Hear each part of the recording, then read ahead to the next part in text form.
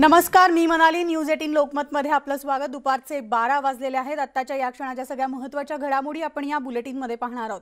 सुरुवात करूयात phone tapping प्रकरणातल्या बातमीनं कारण ही सगळ्यात मोठी बातमी असून I P S Rashmi Shukla आपला जबाब नोंदवत आहेत. रश्मी शुक्ला कुलाबा पोलीस स्टेशनमध्ये दाखल झालेले आहेत. तर हायकोर्टेच्या हायकोर्टाच्या आदेशानंतर रश्मी शुक्ला या आता कुलाबा को- पोलीस स्थानकात दाखल झालेल्या असून या ठिकाणी फोन टॅपिंग प्रकरणी आपला जबाब नोंदवत आहेत. तर फोन टॅपिंग प्रकरणी साक्ष देण्यासाठी रश्मी शुक्ला कुलाबा पोलीस स्थानकात हजर आहेत. सकाळी अकरा वाजता रश्मी शुक्ला कुलाबा पोलीस स्थानकात हजर झालेल्या आहेत आणि आपला हायकोर्टाच्या आदेशानंतर त्या जबाब नोंदवण्यासाठी या ठिकाणी उपस्थित आहेत. तर आपण सविस्तर अपडेट जाणून घेऊयात. आमचे प्रतिनिधी विशाल पाटील आपल्यासोबत आहेत. विशाल काय सविस्तर माहिती?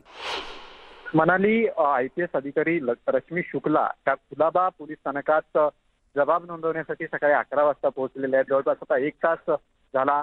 मुंबई पोलीस त्यांचा जबाब जो आहे हा नोंदवून घेत आहेत. खरं तर रश्मी शुक्ला यांनी फोन टॅप केले. या संदर्भात गुन्हा जो आहे तो नोंद करण्यात आला. आणि त्यानंतर रश्मी शुक्ला यांनी अटकेच्या संरक्षणासाठी उच्च न्यायालयात धाव घेतली. उच्च न्यायालयाकडनं त्यांना सांगण्यात आलं की सोळा मार्च आणि तेवीस मार्च रोजी तुमची तुम्ही जबाब नोंदवण्यासाठी पोलीस स्टेशनमध्ये हजर राहा. त्या निर्देशानुसार आता रश्मी शुक्ला जे आहेत त्या कुलाबा पोलीस स्टेशनमध्ये त्यांचा जबाब जो आहे तो नोंदवला जातोय. सगळं हे प्रकरण जर आपण पाहायला गेलं तर ज्यावेळेला महाविकास आघाडी सरकार स्थापन होत होतं त्यावेळेला आणि त्यामुळे फोन टॅपिंग प्रकरणामध्ये रश्मी शुक्ला यांचं नाव समोर आलेलं होतं. विशाल धन्यवाद. या सविस्तर माहितीसाठी याचे अपडेट्स आपण घेत राहणार आहोत.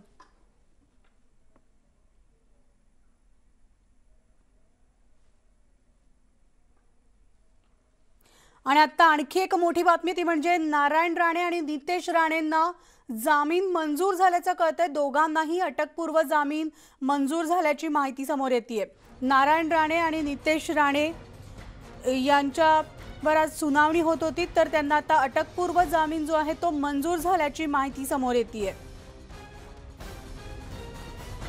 आत्ताची सगळ्यात मोठी माहिती आहे बातमी मिळते ती म्हणजे केंद्रीय मंत्री नारायण राणे आणि आमदार नितेश राणे यांच्या अटकपूर्व जामीन अर्जावर आज निर्णय घेतला जाणार होता. दिशा सालियनबद्दल प्रकरणी आरोप केले होते. त्या प्रकरणी आज दिंडोशी न्यायालयातली सुनावणी जी आहे ती पूर्ण झालेली असून त्यांना अटकपूर्व जामीन मंजूर झाल्याचं कळतंय.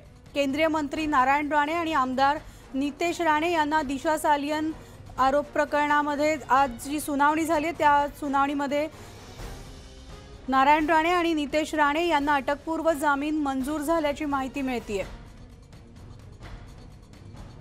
तर याविषयी आपण सविस्तर बोलणार आहोत. आमचे प्रतिनिधी अजित मांढरे आपल्यासोबत आहेत. अजित आपण पाहतोय राणे पिता पुत्रांना अटकपूर्व जामीन मंजूर झाल्याचं कळतंय. काय सविस्तर अपडेट्स म्हणाली दिंडोशी सत्र न्यायालयाने हा अटकपूर्व जामीन अर्ज केंद्रीय मंत्री नारायण राणे आणि भाजप आमदार नितेश राणे या दोघांना मंजूर केलेला आहे. मालवणी पोलिसांनी गुन्हा दाखल केला होता. दिशा सलेन हिची आई वसंती सलेन हिच्या तक्रारीवरती. ज्या पद्धतीनं दिशा सलेन हिच्या संबंधामध्ये जाहीररित्या पत्रकार परिषदेमध्ये वक्तव्य केली होती यामुळे आमची नाहक बदनामी होते. लोक आम्हाला नाही ते प्रश्न विचारतात.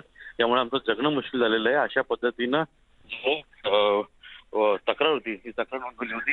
या तक्रारीमध्ये साधारणपणे नऊ नऊ तास दोघांची म्हणजे केंद्रीय मंत्री नारायण राणे आणि भाजप आमदार नितेश राणे या दोघांची चौकशी झाली होती. या सगळ्या पार्श्वभूमीवर त्यांनी अटकपूर्व जामिनाचा अर्ज केला होता. तो जामीन अर्ज जो आहे तो न्यायालयाने मंजूर केलेला आहे. पण हा जामीन अर्ज मंजूर करताना न्यायालयाने अटी आणि शर्ती या दोन दोघांवरती त्यांना त्याच्या अटी शर्ती दिलेल्या आहेत. म्हणजेच मुंबई सोडून बाहेर जाताना तपास अधिकाऱ्यांना माहिती द्यावी. त्याच पद्धतीनं तपास अधिकाऱ्यांनी त्यांना जेव्हा पाहिजे त्यावेळेस यांना चौकशी करता बोलू शकतात. याचबरोबरीनं अ, काही अशा संदर्भातली माहिती असेल तर ती पोलिसांना द्यावी. आणि विशेष म्हणजे या प्रकरणी कुठेही वाच्यता करू नये. म्हणजे दिशा सालियन ज्या या प्रकरणामध्ये ज्या ज्या प्रकारे ज्या पद्धतीनं पिता पुत्र राणे पिता पुत्र जे. वक्तव्य करत होती ती वक्तव्य त्या पद्धतीने करू नये. जोपर्यंत प्रकरण न्यायप्रविष्ट आहे. या सगळ्या अटी आणि शर्ती ज्या आहेत या अटी शर्तीच्या आधारे दोघांनाही अटकपूर्व जामीन अर्ज जो आहे तो दिंडोशी सदर न्यायालयाने मंजूर केलेला आहे. अगदी बरोबर दिशा सालेन प्रकरणामधील वक्तव्यावरून नारायण राणे आणि नितेश राणे यांना अटकपूर्व जामीन मंजूर झालेला आहे. अजित जसं आता तुम्ही सांगितलं की कोर्टानं काही अटीशर्ती ठेवलेल्या आहेत. या अटीशर्ती केंद्रीय मंत्री नारायण राणे यांना सुद्धा लागू आहेत का? दोघांना ती शर्ती ज्या आहेत त्या लागू आहेत. कारण का दोघांनाही या प्रकरणामध्ये समन्स केले होते. आरोपी म्हणून बनवण्यात आलं होतं. आणि त्याचबरोबरीनं या प्रकरणामध्ये दोघांनाही न्यायालयाने या अटी शर्ती लावलेल्या आहेत.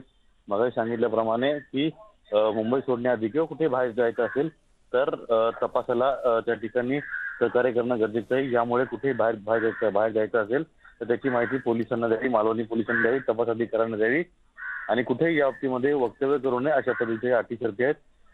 त्यामुळे या सगळ्या अटीशर्ती मान्य केल्यानंतर न्यायालयानं त्यांना अटकपूर्व जामीन अर्ज जो आहे तो मंजूर केलेला आहे.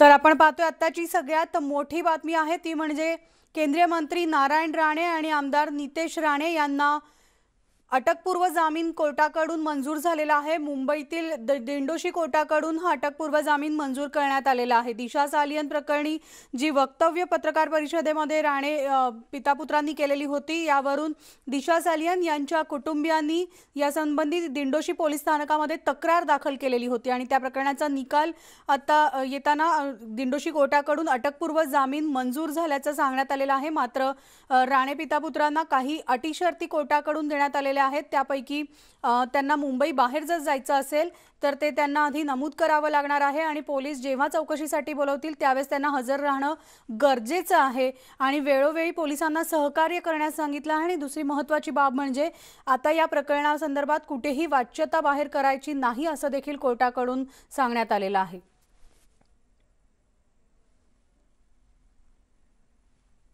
तर आमचे प्रतिनिधी अजित मांढरे आपल्याला यासंबंधी सविस्तर अपडेट्स देत होते.